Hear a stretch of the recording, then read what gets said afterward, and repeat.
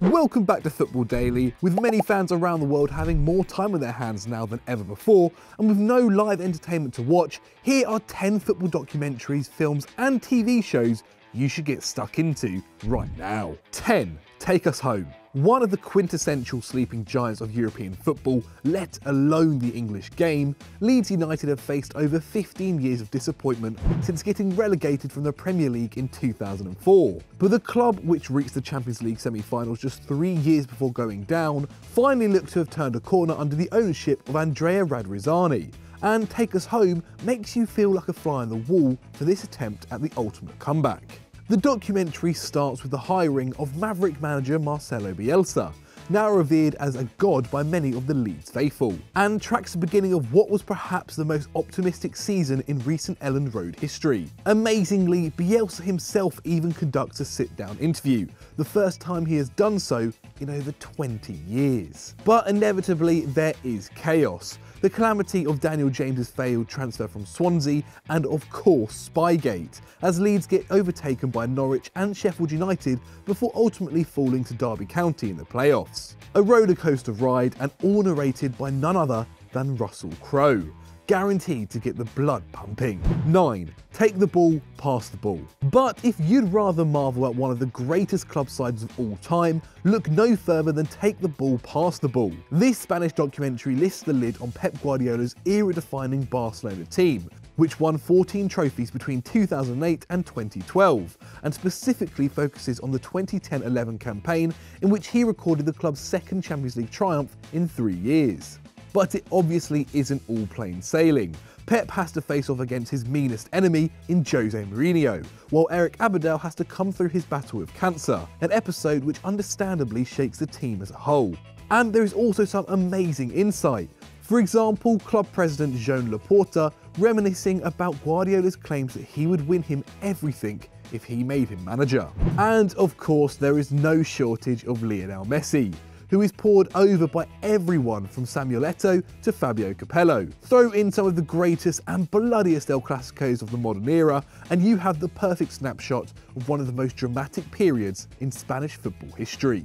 If you guys at home aren't already subscribed to Football Daily, then what are you doing? Please smash that subscribe button and hit the notification bell so you never miss a Football Daily video.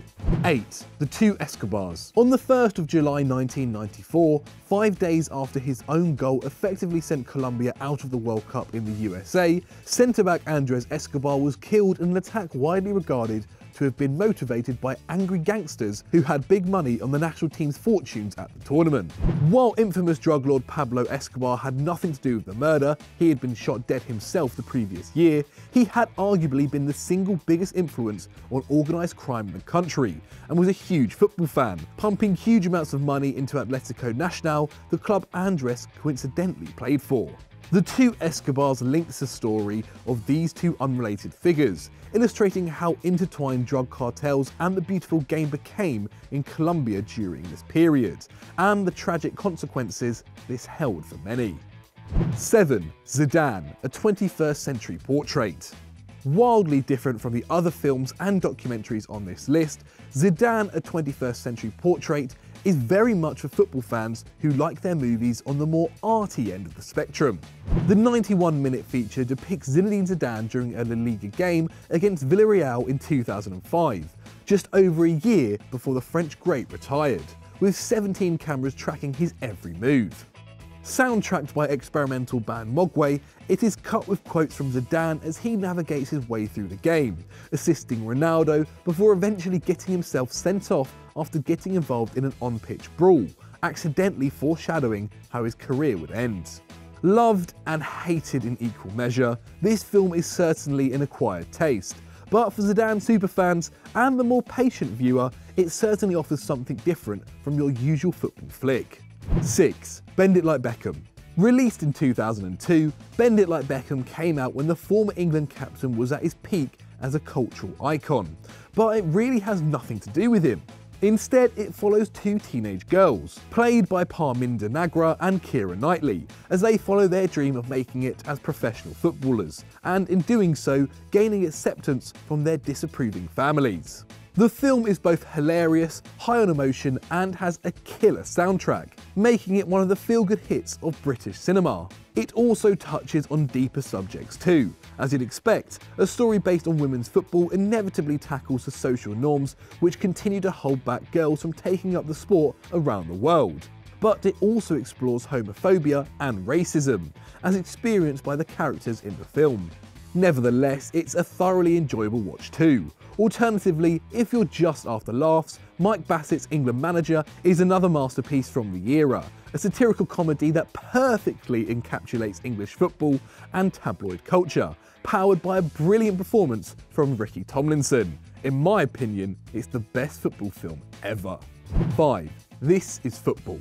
A six part series, This is Football focuses on the sheer power of the beautiful game, with each episode carrying on a different theme redemption, faith, chances, love, pride, and miracles. From exploring how the sport helped to bring people together in Rwanda following the horrific events of the 90s, to looking at Japan's heroic victory at the 2011 Women's World Cup just months after the country was rocked by a natural disaster. This series helps to explain why a sport, which has become so incredibly corporate in the 21st century, still has the capacity to bring power to ordinary people. It also looks at stories which may be more familiar to your average football viewer, like Chelsea's unlikely victory in the 2012 Champions League, Iceland's unfathomable success on the international stage, and how Lionel Messi became the player he is today. Whatever you love most about football, it will be in here somewhere. 4. All or Nothing Manchester City. Manchester City's Premier League campaign of 2017-18 is already remembered as one of, if not the greatest domestic season enjoyed by an English club. Pep Guardiola's side won a record amount of games and scored a record amount of goals on the way to achieving a record amount of points. And amazingly, it was all caught on camera. All or Nothing gives you the insider's view of how Pep City operated that season, how the world-class coach motivated his players to destroy all in their path, how the side dealt with the injury to Benjamin Mendy and the mid-season loss of David Silva, and how they overcame disappointment in the Champions League to finish the season on a high. Featuring team talk footage inside the dressing room and exclusive interviews with figures at all levels of the club, All or Nothing has a kind of access most sports journalists can only dream of, and gives a unique insight into one of the sport's newest superpowers. 3. Sunderland Till I Die. But if you'd rather revel in another club's misery than their glory, then Sunderland Till I Die is for you. Unlike All or Nothing, which documents Man City's greatest ever season, the first instalment of this series takes you through what is considered by many Sunderland fans as the worst campaign in the club's history, as they suffer the humiliation of a double relegation, going down to the third tier for the first time in over 30 years. Produced by two Mackem supporters, the series was meant to show the club plotting a return to the promised land of the Premier League. But instead, it showcases one of the country's biggest footballing institutions going from calamity to calamity, with the most famous example being the recruitment team's listing of Zlatan Ibrahimovic as a transfer target. The recently released second series is somewhat more optimistic, with the club pushing for promotion from League One but it's not without heartbreak. From top scorer Josh Maja's untimely departure to two defeats at Wembley. If you want to put yourself in the shoes of our very own Dougie Critchley, this series is for you. 2. Premier League Years. While all these films and series capture the magic of football in one way or another, sometimes you just want to sit down and watch some great goals and compilations, and they don't come much better than Premier League Years. The Sky Sports show runs through every season of the Premier League, helping you relive the classic moments from the last 27 years. From Kevin Keegan's infamous meltdown in 1996 to the wonder goals of Henry and Rooney, to Sergio Aguero's last minute winner against QPR in 2012, it's all on show here, wall to wall, non stop Premier League football. Normally seen as something to fill the time between the real action, Premier League years now takes on an entirely new significance, a window into what the world was like when watching football on the weekend was a given, and revelling in the drama of the English top flight was a key part of every fan's day-to-day -day life. 1. Diego Maradona Written and directed by Asif Kapadia, who previously produced acclaimed documentaries on Ayrton Senna and Amy Winehouse, Diego Maradona is, according to the filmmaker, the third part of a trilogy on child geniuses and fame what they mean to their country, and what they mean to people. Finally released in 2019, the documentary centres around Maradona as he's moving from Barcelona to Napoli, and follows him up close as he achieves glory for both club and country, while struggling with the pressures that came with superstardom and his godlike status in one of Italy's poorest cities. If you're even partly familiar with the story of the iconic forward, you'll know that there is a lot of drama aplenty here. Made possible by the acquisition of hours upon hours of archival footage of the Argentinian legend, much of which has never been seen before, Diego Maradona is a brilliantly unique take on one of the beautiful game's greatest ever figures.